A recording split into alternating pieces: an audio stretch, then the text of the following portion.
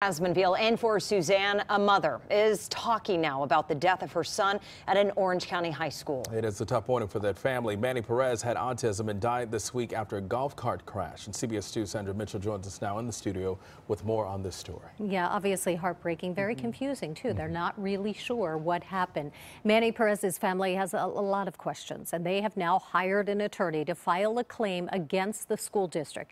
This happened on Monday. The 15 year old died of serious injuries Monday evening. That was hours after he crashed into a wall while driving a golf cart on the campus of El Modena High School.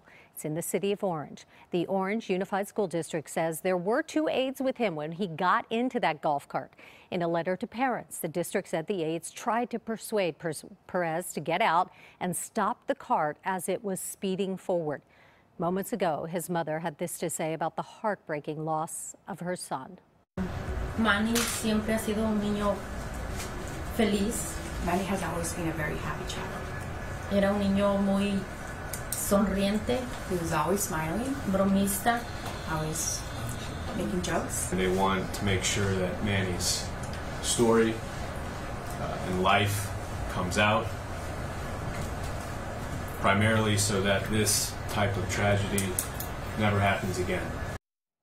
So again, Manny Perez's mother and her attorney is speaking out. His death inspired a walkout yesterday at El Modena High.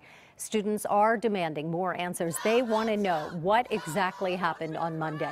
We do know the Orange Police Department is investigating and the school is providing grief counselors. The district released a statement as well saying that it sympathizes with the frustration and the sadness, but that some misinformation and unfounded rumors are spreading on social media. We'll continue to follow this story and we'll bring you a lot more on the mother's statement, what she had to say later today on CBS 2 News at 5 and then streaming on CBSN Los Angeles.